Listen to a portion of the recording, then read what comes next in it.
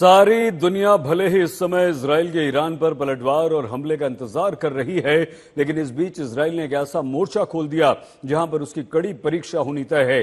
और इसकी सबसे बड़ी वजह हिजबुल्ला का रॉकेट और मिसाइलों का एक बहुत बड़ा जखीरा है। हिजबुल्ला के पास एक लाख से अधिक रॉकेट्स और मिसाइल्स हैं। इनमें 11 किलोमीटर की रेंज वाली फलक है 13 किलोमीटर की रेंज वाली शाहीन है।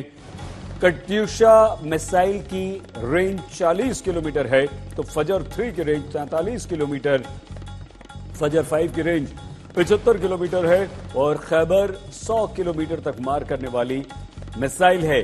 जलजिल 210 किलोमीटर तक मार करने वाली एक मिसाइल है और फतह 110 की रेंज 300 किलोमीटर तक है।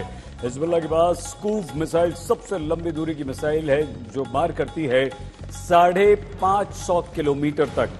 तो ये हथियारों का जखीरा, यानी कि एक लाख से अधिक मिसाइलें इस समय हिजबुल्ला के पास हैं और इस तरह हिजबुल्ला के पास इसराइल के कोने कोने में हमला करने की क्षमता है। हिजबुल्ला पलक झपकते ही इसराइल के आसमान पर मिसाइल्स और रॉकेट्स के बारिश कर सकता है और यही कारण है कि जब खामने हिजबुल्ला की तारीफ़ के कसीदे पढ़ते हैं तो इसराइल का निशाना ईरान से अधिक लेबनान में हिजबुल्ला बनता है।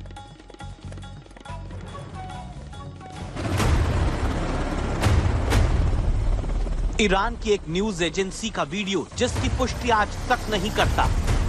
इस वीडियो में दावा किया जाता है कि जो सैनिक आपको दिख रहे हैं वो इसराइल के हैं। ईरानी न्यूज़ एजेंसी के मुताबिक हिजबुल्ला ने लेबनान में हमला करने वाले इसराइल के सैनिकों को निशाना बनाया और ये शव उन्हीं इजरायली सैनिकों के हैं।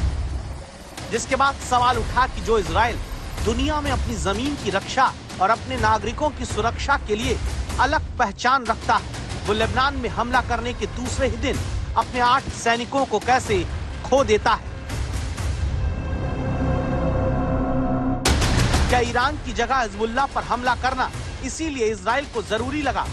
एक अक्टूबर को ईरान की तरफ़ से इसराइल पर किए गए अटैक के बाद इसराइल लगातार लेबनान में ईरान समर्थक हिजबुल्ला के ठिकानों पर बमबारी कर रहा है। इसराइली सेना का दावा है कि हिजबुल्ला के 60 आतंकवादी मार गिराए गए और लेबनान में हिजबुल्ला के 200 से ज़्यादा ठिकानों पर एयर स्ट्राइक की गई।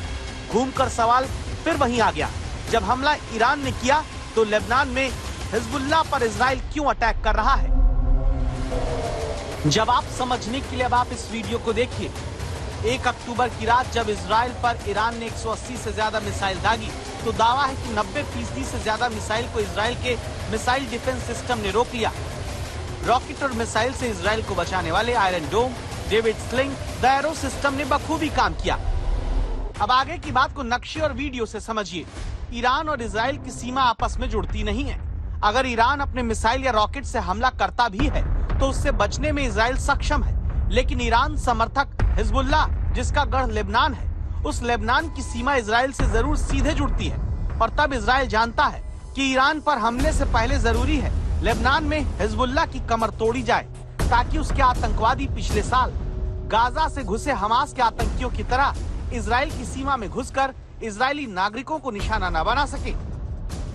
इसराइली सेना के प्रवक्ता बताते भी हैं कि हिजबुल्ला हिजबुल्ला का नौ साल से प्लान है कि उत्तरी इसराइल पर पहले जमकर गोलाबारी की जाए प्लान का अगला हिस्सा ये रहा है कि 5000 हिजबुल्ला आतंकी जमीनी बॉर्डर पार करके इसराइल में दाखिल हो जाएँ। इसके बाद हिजबुल्ला का प्लान है कि उत्तरी इसराइल के नागरिकों को हथियार के दम पर घेर कर बंधक बना लिया जाए यही वजह है कि ईरान से ज़्यादा अभी फोकस इसराइल ने नसरल्ला को ढेर करने के बाद लेबनान में हिजबुल्ला को खत्म करने में लगाया। है लेकिन फ़िलहाल ये इतना आसान नहीं दिख रहा है।